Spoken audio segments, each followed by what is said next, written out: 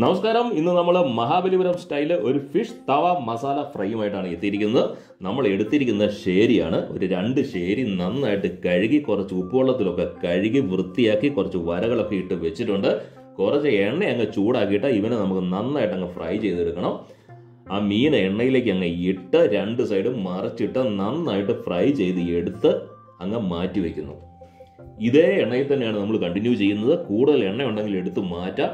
എന്നിട്ട് കുറച്ച് വെളുത്തുള്ളി ചതച്ചങ്ങ് ഇടുന്നു. ഒരു രണ്ട് തണ്ട് കറിവേപ്പിലയും കൂടി ഇട്ട് കരിച്ച് കളയരുത്. പക്ഷെ നന്നായിട്ട് ഒന്ന് ഫ്രൈ ചെയ്ത് അങ്ങ് എടുക്കുക.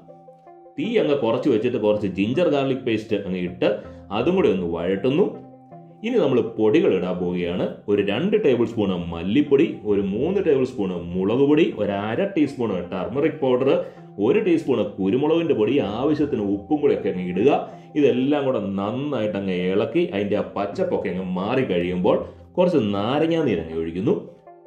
കൂടെ തന്നെ കുറച്ച് വിന്നാഗിരിയും കൂടെ അങ്ങ് ഒഴിച്ച് നന്നായിട്ട് ഇളക്കി ഒരു പേസ്റ്റ് ആക്കുക. കണ്ടമാനം ഡ്രൈ ആണെങ്കിൽ കുറച്ച് വെള്ളമൊക്കെ ഒഴിക്കാം. നോക്കിയിട്ട് ആവശ്യമുണ്ടെങ്കിൽ ഉപ്പൊക്കെ ഇട്ട് ഇളക്കി ഒരു പേസ്റ്റ് ആക്കിയിട്ട് നമ്മൾ വറുത്ത് വെച്ചിരിക്കുന്ന മീൻ അതിലേക്ക് ഇട്ട് ശരിക്കും അങ്ങ് പൊതിയുന്നു ശരിക്കും അങ്ങ് പുരട്ടുക.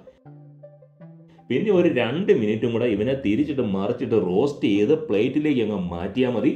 ഡീറ്റെയിൽഡ് വീഡിയോയുടെ ലിങ്ക് ഡിസ്ക്രിപ്ഷനിലുണ്ട് പിന്നെ റിവ്യൂ കോക്ടെയിൽ മലയാളം ഒന്ന് ലൈക്ക് ചെയ്യാനും ഷെയർ ചെയ്യാനും സബ്സ്ക്രൈബ് ചെയ്യാനും മറക്കരുത്. Recipe flash cash dot com സന്ദർശിക്കുക.